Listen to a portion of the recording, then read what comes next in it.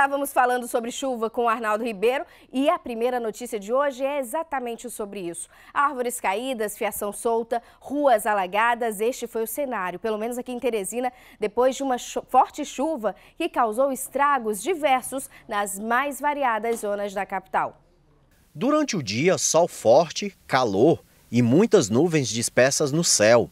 À noite, nos últimos dias, Teresina tem registrado pancadas de chuvas mais duradouras. O Instituto Nacional de Meteorologia, o IMET, emitiu nesta quinta-feira mais dois alertas de chuvas intensas para todos os municípios do Piauí. Para o climatologista, as pancadas de chuvas devem continuar pelo menos nos próximos 15 dias. Nós temos um quadro de severidade né, instalado no Nordeste, em função do aquecimento atlântico, e isso tem gerado vários temporais. Inclusive, o Piauí tem concentrado esses temporais em toda a região.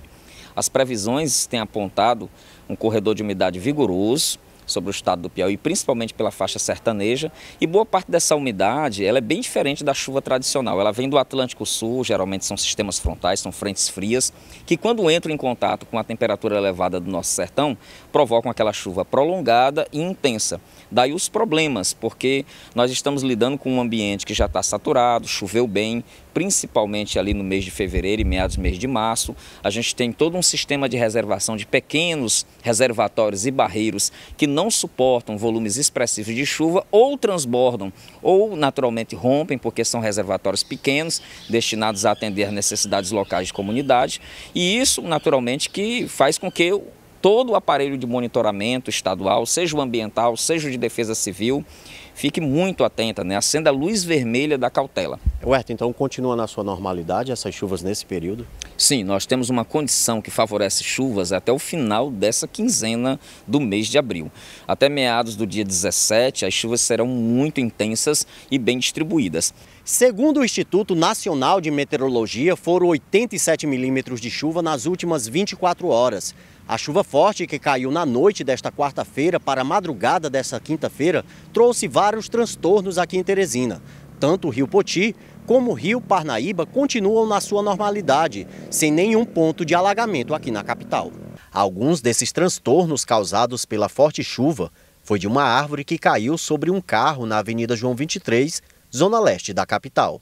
Já no interior do Piauí, algumas fatalidades foram registradas. No município de Lagoa Alegre, um homem identificado como Adalberto Sampaio, de 56 anos, foi encontrado morto em um córrego na zona rural da cidade.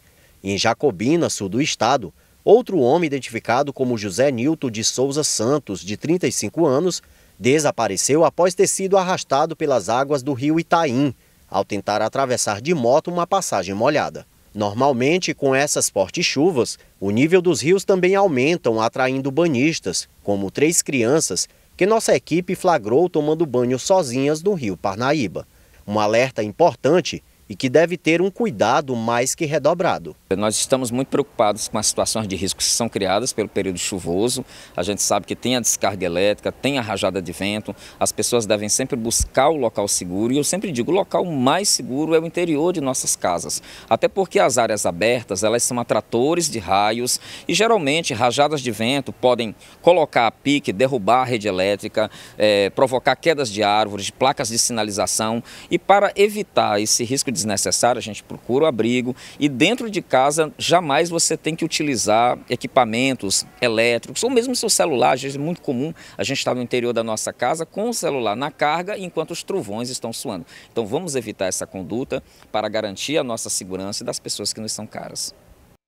Exatamente, pessoal. Fatalidades acontecem, mas em alguns casos, uma atenção, um cuidado redobrado não faz mal e ajuda também a prevenir esse tipo de situação. Você viu que nas imagens ali, enquanto a matéria era produzida, a equipe de reportagem, Júnior Medeiro, nosso cinegrafista Márcio Corrêa, flagraram o momento em que três crianças estavam banhando no rio. Lógico, talvez sejam crianças que já têm o hábito, têm o costume, moram muito perto, mas os rios de fato estão bem mais cheios. Quem passar pelas principais pontes aqui da capital por exemplo, já pode observar que o volume de água está bem maior. Então, é importante ter cuidado, ainda que a população, as pessoas, as crianças conheçam a região, a gente sabe que água é aquela coisa, né? Muitas vezes é bem traiçoeira, ainda mais cheia, correnteza forte. É bom a gente não arriscar, principalmente nesses períodos de chuvas intensas. A matéria trouxe um resumo do que aconteceu nas últimas horas, mas ao longo desse mês, do, é até do mês passado, muitos casos de afogamento foram registrados e muitos afogamentos acabaram resultando em óbito, infelizmente.